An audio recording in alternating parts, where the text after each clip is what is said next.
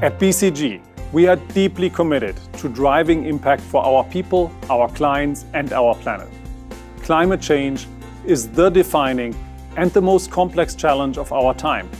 It is happening now, it is happening fast, and it impacts everyone. Addressing climate change is therefore not just a moral, but a strategic imperative to act on and can lead to competitive advantage.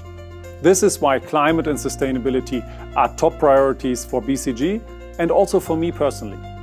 This matters to me as a citizen, as a business leader, and as a father, so that we can build a better future for tomorrow.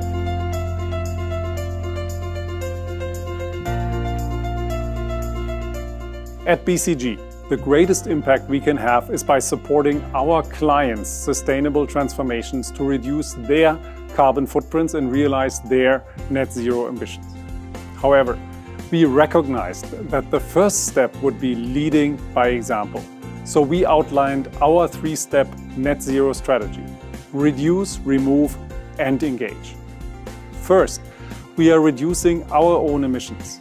With the progress we've already been able to make, we raised our ambitions and near-term targets to half emissions intensity by 2025. We are proud that this target has been validated by the Science Based Targets Initiative as aligned with a 1.5 degree pathway.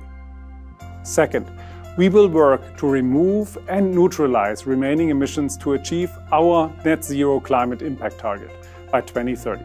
We will invest in pioneering CO2 removal solutions such as direct air capture through partnerships with organizations like Breakthrough Energy Catalyst, as well as supporting more nature-based solutions such as reforestation that offer immediate CO2 removal potential.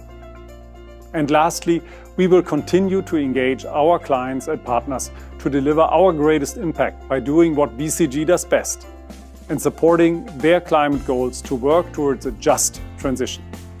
And to do so, we've committed to invest 400 million US dollars over this decade to enable our teams to drive climate and environmental impact across governments, industries, NGOs, and coalitions.